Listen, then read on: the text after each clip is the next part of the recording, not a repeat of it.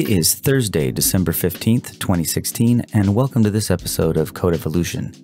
So, I've been working on this genetic algorithm platform project for quite a while, just something fun and interesting because it allows me to experiment with different code and different techniques and also learn more about machine learning and AI. I already have some significant experience with genetic algorithms, but I really hadn't flexed my muscle enough, so I thought this would be cool. Originally, this uh, project was built in C Sharp, but I wanted to port it over to TypeScript so that it could run in a browser. So what we're going to review is just some of the stuff about the genetic algorithms, and then I'm also going to talk about how I'm doing this parallel processing using my Parallellib, which is part of TypeScript.net, and I'm also going to go into showing you that it works both with Node.js and in the browser, which is really cool. Most of the cool stuff I'm going to review, I've done in the last week, and I thought it would be really neat to kind of show off for people. So I don't want to get too in depth into how the genetic algorithm code works because it's basically a platform that I've defined some classes and interfaces that allows you to build sample problems on top of. And in this case, the sample problem I'm doing is one that I call the algebra black box. And that algebra black box, basically you pass it a function and it will sit there and it will try to unravel what's inside the box. So if I go to my sample environment code, I've been using this uh, a little bit stronger function to kind of demonstrate or test and see how well it's doing, but I'll show you. So if I use the a squared plus b squared, you know, equals c squared kind of problem, I can actually unravel this pretty quickly. So I'm going to run this in Node.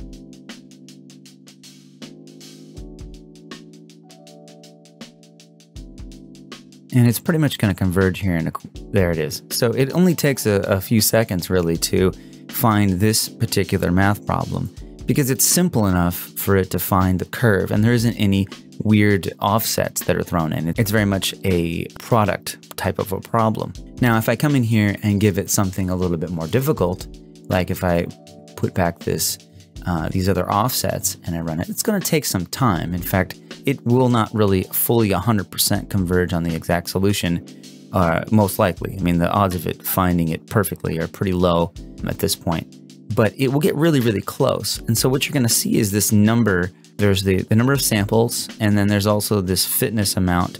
There's two fitness measurements here. One is the correlation, so basically how tightly it actually correlates to the actual shape of the curve.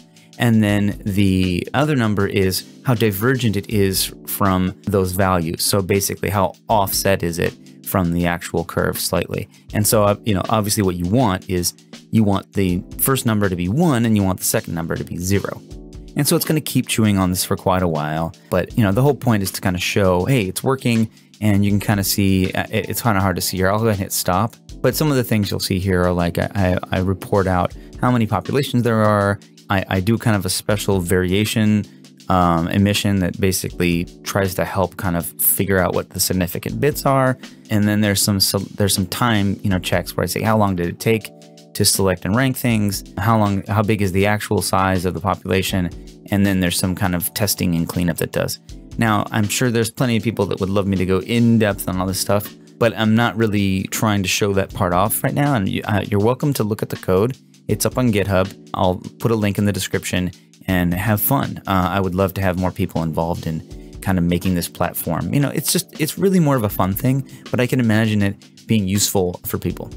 So next up, what I wanted to show off was if we go into the actual problem code. Now this problem class is basically how it measures how well the algorithms are doing. It basically says, oh, hey, for this given problem, meaning, you know, what are we trying to unravel? How good is it aligning? So in this case, the problem is directly related to this being an algebra black box and then being able to say, hey, given a certain function, which is defined in the environment, uh, how well are we getting close to that? Originally, I had this running all synchronously in Node and it was great. And for, to go back even further, this was originally written in C Sharp and I had it running, you know, synchronously. So now I've got it in TypeScript and I wanted to have a simple thing working. So I'm running it in Node.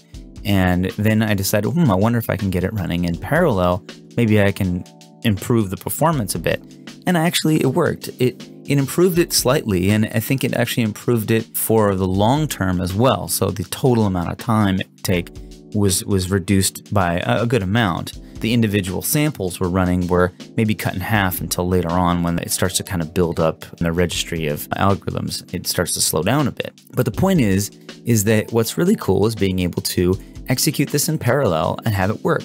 So for each population that needs to be tested, it's fed the population and then it sets up a random sample for that population. And for now, I only have two parameters. I, I really would love to get more into multiple parameters, but there's a big deal with discovering what is significant within the algorithm. So it's a bit harder but I just wanted to get the A and B variables going. So by setting up the actual samples, originally, just like I said, was doing this synchronously. Now what I do is I pipe through some of the data and then I have this function here, which this function has to be self-contained. It can't have any external references because it's converted over and sent over to a worker thread. But it's working. So what I did was to make this work is for every mathematical gene, I've created this toEntity function that returns a actual renderable JavaScript version of that function. So in the case of if you have a, square root symbol, it'll convert that over to be an actual math.square root. And so this is able to run in the web worker and actually get evaluated. And it works great. It's really cool. Again, saving me some time. And then after the parallel ends up returning back from its thread, it then continues on and then synchronously finishes up and figures out the fitness and then adds those values into a fitness record. And again, all of this being done asynchronously through async await. Very cool stuff. Yeah, it's it's so it's so cool. Now, the last thing I wanted to show off, which I think is really great, I, I toyed around with this for a little while, and that is getting this to run in the browser. Uh, was not much effort. I actually was able to fix a few bugs here and there by doing so, which was great. But uh, in the same way, so all I have here is I have an index.html that I'm using require.js because I find that easy. Some people don't. And I have a simple require config that basically says, hey, here's all the modules for TypeScript.net. And in this case, I'm using UMD across the board. And by using UMD, I can run it in Node and in the browser just equally well. Now, what I end up doing is I launch this index JavaScript which is here, the TypeScript is here for. So it checks to see, hey, I'm in a, am I in a browser? Oh, cool. I'm gonna go ahead and output this out. So let's show this off. I'm gonna sit here, I'm gonna launch this, and then we're gonna switch back to the browser. And look at this. So now I'm emitting the data into basically an element in the browser. And so you can sit here and watch it without having to open up the console. If you open up the console, you'd see the same data that was output in Node going out of the console just as well but it's cool. I can actually run it in the browser, I can run it in Node, and in both cases, they're running in parallel. They're running workers to, to do the, the meat of the calculations, which again is super, super cool stuff. If you guys have any questions, I'd love to hear them. I, at this point, I, I wanted to kind of make this kind of an introductory show and tell. And if you're interested in getting involved in genetic algorithms and toying around, um, check out the repo uh, for the genetic algorithm platform in the description. And also, if you're really interested in learning more TypeScript, check out my course on Udemy on TypeScript fundamentals. And until next time, uh, happy coding, and we'll see you in the next video.